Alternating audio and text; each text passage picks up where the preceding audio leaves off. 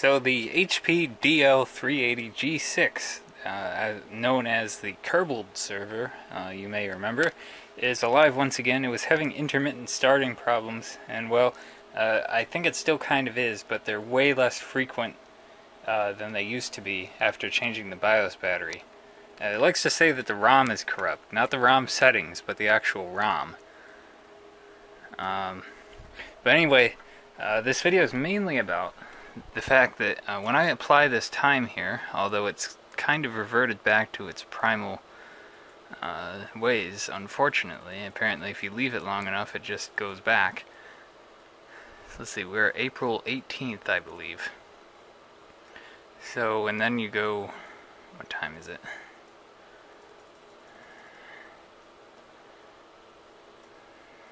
That'll be close enough. Okay, so all those jobs just expired, I know.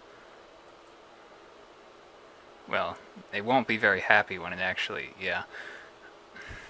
Um, anyway. So, uh, I hear a lot of people say that it's not possible to activate Windows XP and Windows Server 2003 over the internet, and I clicked on the wrong darn thing. I'm surprised this thing isn't already yelling at me to activate because, uh, the uh, grace period is definitely expired now that I've let it know what time it is. In fact, I don't even know where the darn thing went. There it is.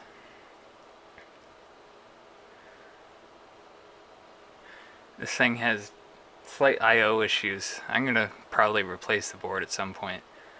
Um, but yeah. Uh, I, probably actually I might need to log off before it counts the days again by the looks of things. Uh, but let's see. Uh, let's just activate Windows. Hopefully the server will work long enough for this to be useful.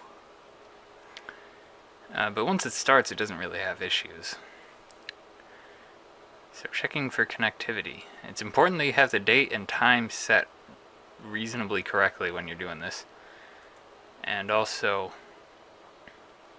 if it doesn't like to, if it seems like it's not going to connect, um,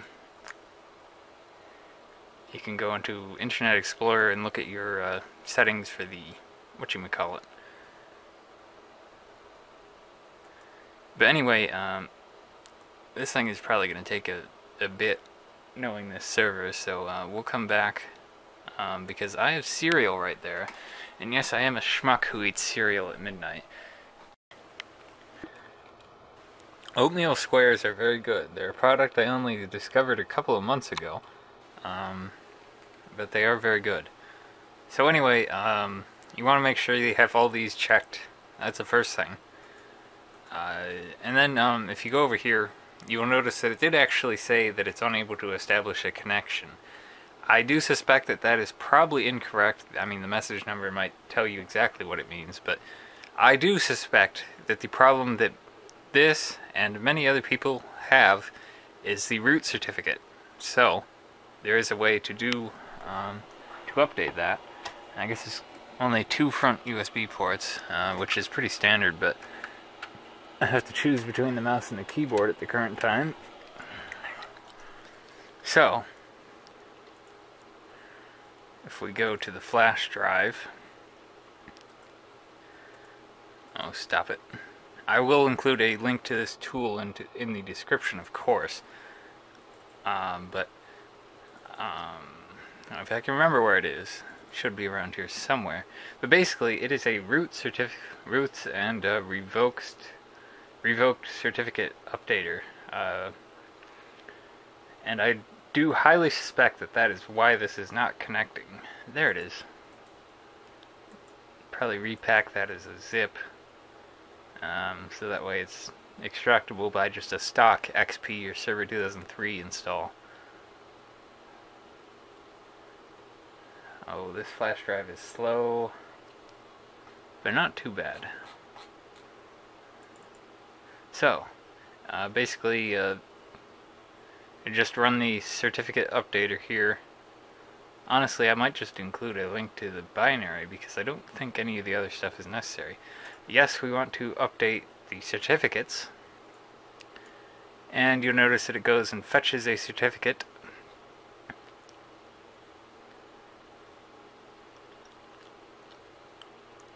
Um, well, several certificates to be exact.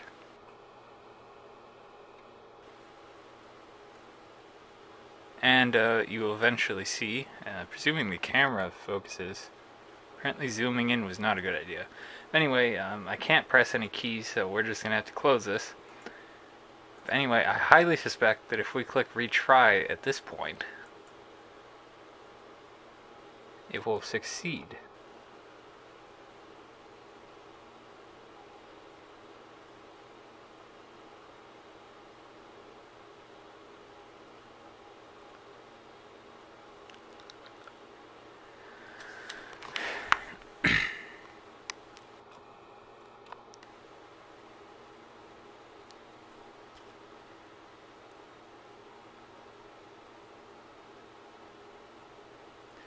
And look at that.